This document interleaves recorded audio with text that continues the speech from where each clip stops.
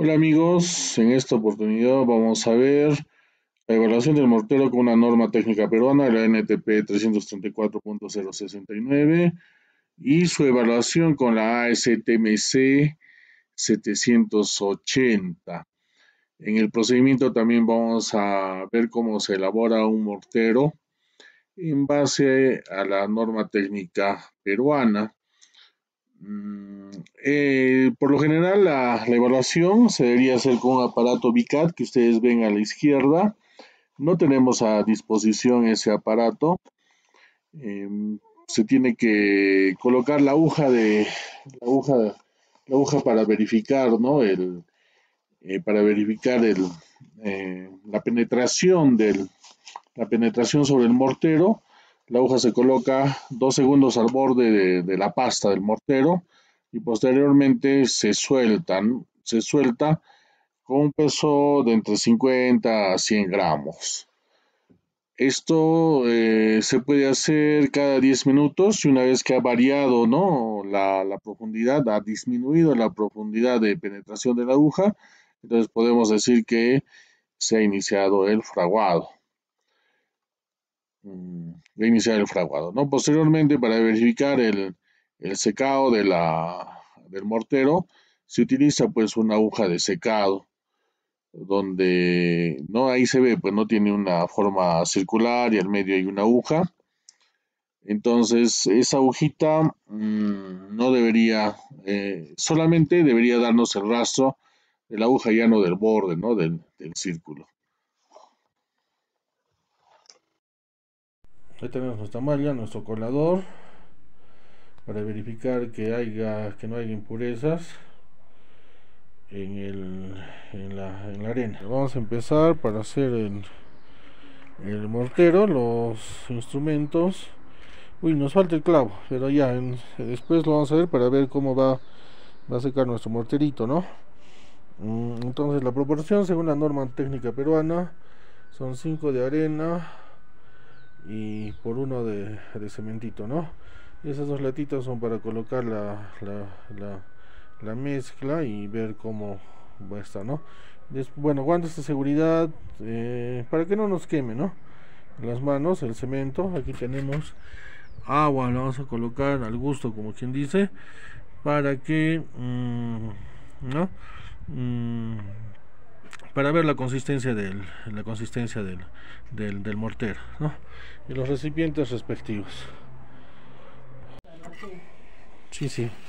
Ya este ya ya lo hemos, hemos tenido se nos se nos fue la mano con el agua pero le hemos aumentado dos más de, de cómo se llama mm, caray dos vasitos más de arena y el proporcional pues no la, la quinta parte de cemento.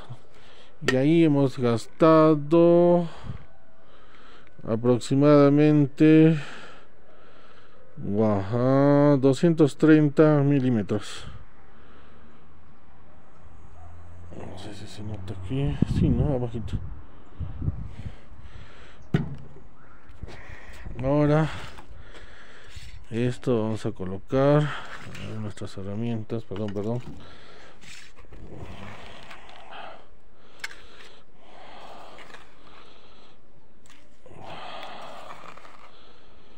A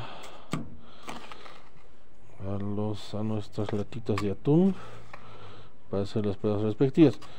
Bueno esto de aquí estamos trabajando íntegramente para que sea el mismo material para el siguiente ejercicio con este eh, arena para sentar para sentar ladrillo no ya está nuestra primera latita. Esa se va a la interperie y nuestra segunda latita esa se va a ir a un ambiente cerrado para hacer las pruebas no ya le vamos a colocar un clavo delgado.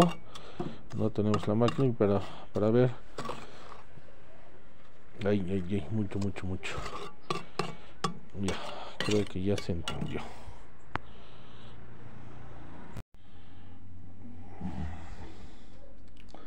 A ver vamos a ver ya después de 80 minutos.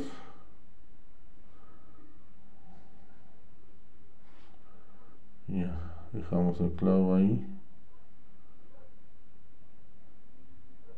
Un poquito de presión no le aplicamos. Hasta ahí más o menos 1 2 3 4 5 estaba a la intemperie. Colocamos ah, ahí espera un ratito no 1 1 2 segundos. Aplicamos un poco de presión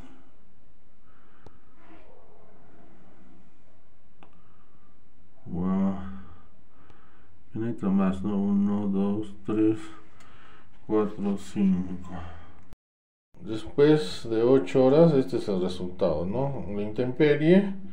Esta es la masa que estuvo en intemperie en el patio, incluso le ha caído agua. Pero vemos que, ya el clavo no se hunde, ¿no? Aquí sí hay muestras de que esto es lo que estaba dentro de un ambiente. Un poquito, ¿no? Pero igual, ¿no? Ya con la prueba se hunde un poquito el, el clavo pero igual ya está súper fraguado pero en la otra muestra igual no un poquito también un poquito claro es lo normal no ya no con el aparato de Vicar se vería mejor